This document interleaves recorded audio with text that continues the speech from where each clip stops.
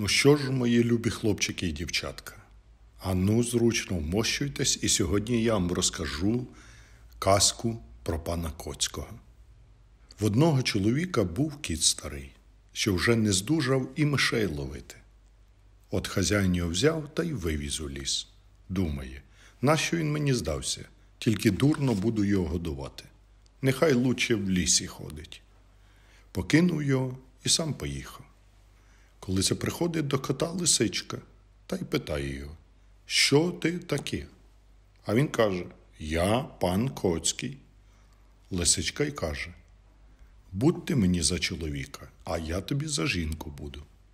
Він і згодився. Веде його лисичка до своєї хати, так уже йому годить. Уловить де курочку, то сама не їсть, а йому принесе. От якось зайчик побачив лисичку та й каже їй: Лисичко, сестричко, прийду я до тебе на досвідки. А вона йому. Є у мене тепер пан Коцький, то він тебе розірве. Заєць розказав за пана Коцького, вовкові, ведмедеві, дикому кабанові. Зійшлись вони докупи, стали думати, як би побачити пана Коцького.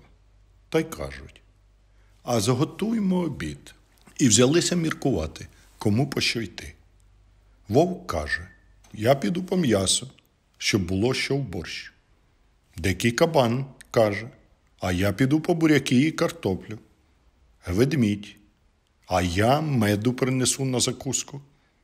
Заєць, а я капусти. От роздобули всього, почали обід варити. Як зварили, почали радитись, кому йти кликати на обід пана Коцького. Ведмідь каже: Я не підбіжу, як доведеться тікати. Кабан, а я теж не повороткий. Вовк, я старий уже і трохи не добачаю. Тільки зайчикові й приходиться. Прибіг заєць до лисичиної нори. Коли ця лисичка вибігає, дивиться, що зайчик стоїть на двох лапах біля хати, та й питає його: А чого ти прийшов? Він і каже: Просили вовк, ведмідь, дикий кабан, і я прошу, щоб ти прийшла зі своїм паном Коцьким на обід. А вона йому. Я з ним прийду, але ви поховайтесь, бо він вас розірве. Прибігає зайчик назад та й хвалиться. Ховайте, сказала лисичка, бо він як прийде, то розірве нас. Вони й почали ховатися. Ведмідь лізе на дерево, вовк сідає за кущем, кабан заривається у хмиз, а зайчик лізе в кущ. Коли це веде лисичка свого пана Коцького. Доводить до столу, а він побачив, що на столі м'яса багато, та й каже Мау, мау, мау. А ті думають, от вражого батька син, ще йому мало.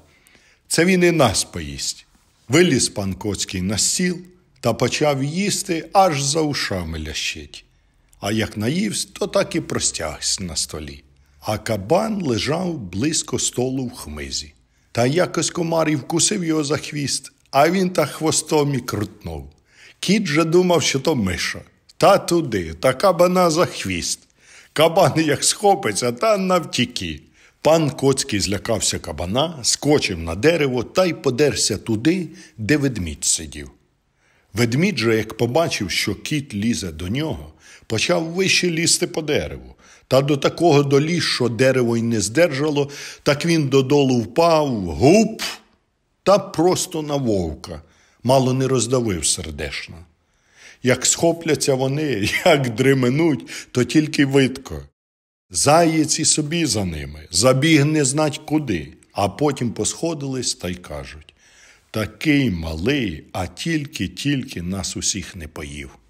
На цьому казочці кінець, а хто слухав, молодець. І, дорогі діточки, якщо ви будете слухняненькі, їстимете кашку, слухатиметесь на карантині своїх батьків, я вам розкажу ще одну чудову казочку. Замовляйте, яку б казочку ви хотіли почути, дорогі мої малята, і їхні чудові батьки.